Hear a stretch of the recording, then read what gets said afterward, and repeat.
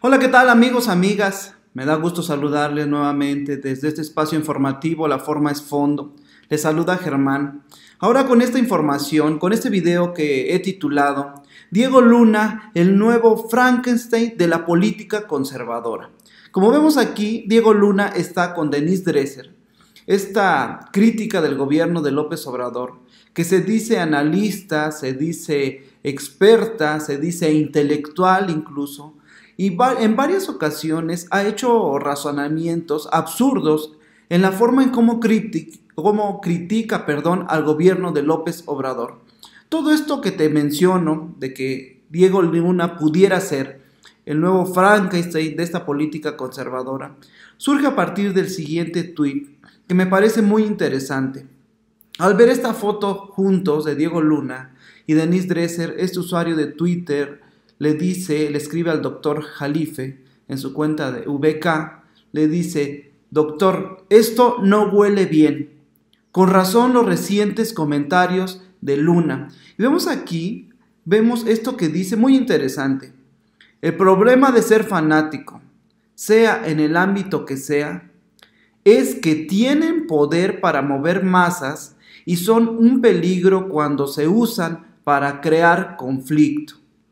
Y aquí mismo dicen, así es, chavos como Diego Luna, utilizados para fines políticos oscuros, pueden lograr confundir a mucha gente. Y es justo de esto que te voy a hablar, de que Diego Luna pudiera representar esa figura que eh, genere polémica, que es una persona reconocida, famosa, y que pudiera confundir a muchos ciudadanos con respecto a, asuntos políticos. ¿Esto por qué? Porque Diego Luna está anunciando que hará una marcha a través de, una asociación que él formó el día después, una marcha el 10 de mayo para recordar o protestar, no sabemos bien cómo lo va a manejar, por los desaparecidos en México. Entonces, viendo todo esto, eh, amigos, amigas, no quiero caer en la especulación, no quiero caer en el amarillismo de ninguna manera, solo es una interpretación, me gustaría que hagan sus comentarios, qué piensan con respecto a esto que les estoy diciendo. Es una mera interpretación, respeto este movimiento un día después, tal vez sea original y sea genuino y realmente genere una revolución de ideas en nuestro país y nos haga más humanos con respecto a temas sociales. Y es desde ese corte, está excelente, no quisiera criticarlo además, pero si tiene un fin político, si tiene detrás esa parte perversa de políticos conservadores es donde tenemos que estar alerta porque como dice este comentario, podrían estar confundiendo a los ciudadanos. Diego Luna en su cuenta de Twitter dice lo siguiente, Hoy, después de muchos meses de trabajo, tenemos el gusto de presentar el Día Después MX, una herramienta ciudadana para la acción ¡Qué nervios! Este es su logo, el día después, hoy lanzamiento 20 horas, esto sucedió como vemos aquí el 2 de mayo de 2019. Esto ocurre así y, e inmediatamente después, 2 de mayo, vemos aquí el Universal publica el 6 de mayo, cuatro días después, esta nota. En México hay más de 40 mil hijos e hijas desaparecidos, por lo que el 10 de mayo ha dejado de ser un día de celebración para muchas madres. y vemos aquí la información de El Universal. La plataforma el día después convoca a marcha el 10 de mayo.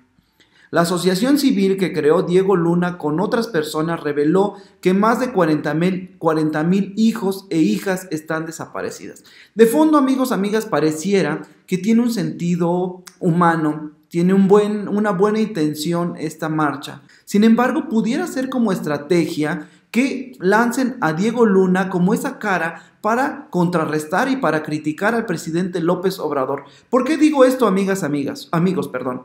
Esta fórmula de golpear al presidente López Obrador tal vez venga creándose desde hace tiempo. Hemos visto que la fórmula famoso político les ha dado resultados a estos gobiernos, principalmente de la estrategia que utilizó el PRI. Hablamos, por ejemplo, el primer ensayo que hizo fue unir político con famoso, fue el caso de Hidalgo con Omar Fayad y Victoria Rufo. En campaña en estas visitas que hacían a los municipios, la gente por ver a Victoria Rufo llenaba los eventos. Y esta fórmula les funcionó. La repitieron eh, con Manuel Velasco y Anaí. También les funcionó porque la gente por ir a ver a Anaí, pues llenaba los eventos y eso le benefició a Manuel Velasco. Y la concretaron por completo en la eh, unión de Peña Nieto y eh, la Gaviota donde la fórmula político famoso les funcionó y les funcionó muy bien. Tal es así que Enrique Peña Nieto, a pesar de esos resbalones de que eh, ni un libro completo había leído, pues logra ser presidente de México. Entonces, pudiera ser de fondo esta interpretación que te digo, es que encontraron que un famoso puede reunir esas dos cosas. Un famoso que haga política. Esa es la fórmula. Diego Luna, una persona famosa, reconocida por su trabajo, sí tiene alto nivel de credibilidad este tema. Veamos de inicio esta entrevista que le hizo eh, Milenio, este, Uresti, eh, le hace esta entrevista a Susana Uresti, eh, que me parece interesante. Escuchemos, incluso habla de esta parte de la marcha que se va a realizar. Lo que tú has presentado este jueves hay un divorcio además, hay un divorcio entre, lo, entre una, una parte del, del, país y otra parte del país, entre la clase política y la sociedad, entre la sociedad civil organizada y los ciudadanos de a pie. Y tú te estás echando a la espalda el reto de unir todas estas piezas para poder caminar en un mismo sentido. ¿Cómo vas a generar el reencuentro, Diego, si alguna vez hubo algún encuentro, entre la sociedad civil organizada, esa que le han llamado FIFI y de muchas otras formas, y los ciudadanos de a pie que se sientan alejadísimos y muchos no representados por ellos. Yo creo en, que hay que cambiar urgentemente la narrativa. Este, conozco muchísima gente, muchísimos activistas, eh, hombres y mujeres que le dedican su vida a transformar este país, a que se vuelva ese país donde yo quisiera que mis hijos crezcan. Eh, ya están haciendo ese trabajo, ¿no? Por un lado. Eh, y, por otro lado estamos eh, eh, los ciudadanos que hemos decidido ignorar este, hemos dejado que la indiferencia reine, ignorar el trabajo de todas estas organizaciones. yo siento que hay que cambiar la narrativa, cómo nos han contado la historia. Una de las herramientas más fuertes del día después es eso, la comunicación. Vamos a hacer documentales, piezas eh, cortas que esperamos que se viralicen. Vamos a ir a universidades, a ferias del libro, a, a festivales de todo tipo, a platicar con la gente, sobre todo con los jóvenes, a decir, tú puedes hacer mucho por, por tomar el control de tu realidad, por diseñar tu realidad y es motiva, yo creo que es con, con tan, mira, si yo te digo eh, el primer tema que escogimos, que es eh, desaparición de personas, ¿no? Desaparecidos y desaparecidas. Eh, si yo te digo que hay 40 mil este, registros de, de, desapariciones en este país, este, hoy hay 40 mil personas desaparecidas, pues te va a llegar el dato y probablemente lo apuntes en todo, entre todos esos datos que has estado escuchando y lo catalogues ahí y digas, pues sí está grave. Pero si te cuento la historia de una madre y de su hijo y cómo fue la separación y qué fue lo que pasó y cuáles fueron los datos y, la, y, los detalles, los detalles íntimos de esa relación que se rompió y de esa pérdida, de esa ausencia y de esa falta de certeza y de las mañanas de esa madre que se levanta con la sensación de que le falta algo.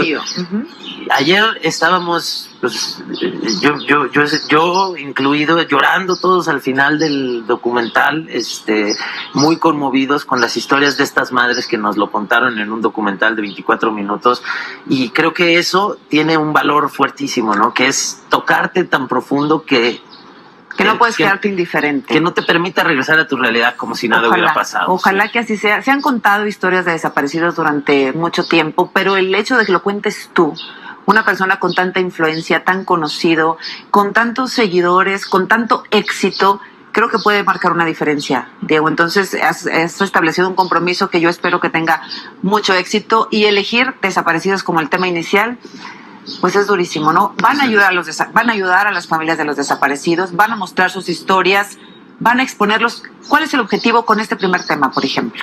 Pues mira, trazamos objetivos muy puntuales y claros. Escogemos una organización o un colectivo este, con el que trabajamos, un movimiento, eh, y entonces este, eh, ellos nos dicen este es el objetivo base, ¿no? El primero es el 10 de mayo. En este país hay marchas por, por todas las ciudades, hay marchas de madres eh, que están buscando a sus hijos, que dicen que no hay nada que celebrar y sí mucho, y sí mucho, que hacer y mucho que lograr. Entonces, este, estamos haciendo un llamado a que salgamos a marchar con ellas, a que, a que encuentren nuestro apoyo y en nuestro apoyo esa, eh, eh, esa vitalidad que necesitan para seguir su lucha, ¿no?